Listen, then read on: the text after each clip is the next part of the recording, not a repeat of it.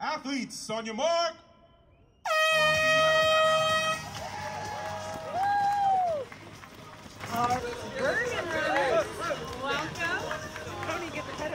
We're so excited to be out here at Flushing Meadows Park in Queens for the first ever Mindful 5K.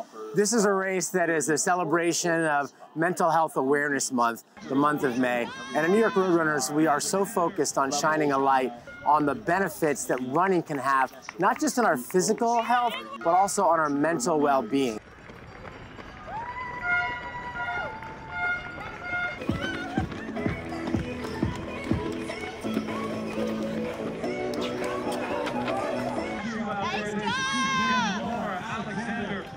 Shot.